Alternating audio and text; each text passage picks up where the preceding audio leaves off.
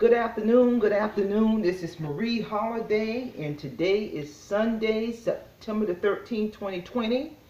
And uh, before I get into this topic, I just want to thank all of my viewers and all of my subscribers for uh, supporting my channel.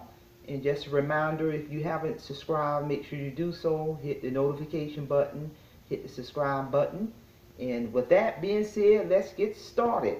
The topic of this video is it's been something I've been wanting to talk about for a while, and it's it's the benefits the benefits of staying away from toxic people, negative people. You know, toxic people, negative people radiate negative energy. And I want to talk about this. The, the benefits of staying away from toxic, negative people, you know, I, I am committed to uh, uh, keeping these toxicity people out of my life. And I, mean all areas of your life, your social life, on the job, in the community. You, you, you, it's no benefit for engaging these toxic individuals. But the benefits of staying away from toxic people, number one, you will not get sucked in to their chaos and drama.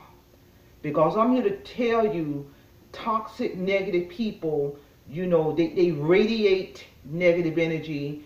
The words that come out of their mouth is negative. They're pessimistic. So if you don't watch yourself, that that can get you sucked in.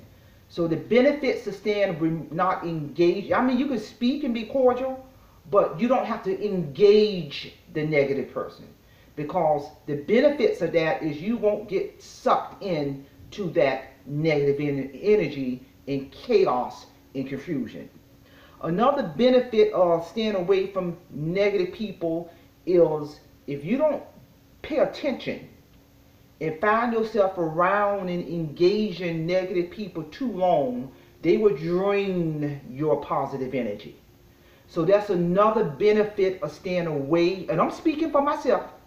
This is what works for me. Another benefit of staying away from negative people is that I reserve my positive energy. I reserve my positivity. Because think about it, everything that they say or do is negative. So you you you're you're, you're hearing it, you're you're taking it in, and you got to be strategic on how you are not going to feed into it. So another benefit is you reserve your positive energy. And by reserving your positive energy, another benefit of staying away from negative people, it, it, it improves your overall wellness it, it, it you know, because uh, negativity can tie into stress. So when you stay away from these people, it has health benefits. You're emotionally whole. You're energized. You're positive. Those are all around benefits of staying away from negative people.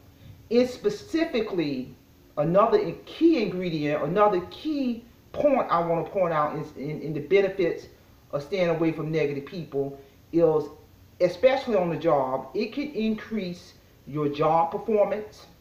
You know, because when you're not getting sucked into that chaos on the job, that negativity on the job, that negative gossip on the job, when you remove yourself from that, that then you're focusing on the essential functions of your job, being about your business, and in turn, that can set the stage for promotions. So that's another benefit or staying away from negative people.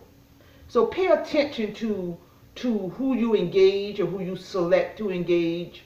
There's no benefit in, in having negative people in your life. You know, replace that with being around positive people. And I'm here to tell you, these are some things that work for me. These are some things that work for me. And it could be, like I said, you know, Stand away from negative people in your neighborhood, in your social circle, on your job, in, in, in relationships, all the way around benefit. So I hope the audience got something out of this. And with that being said, I will see you all again next time. Simplify. Have a great afternoon.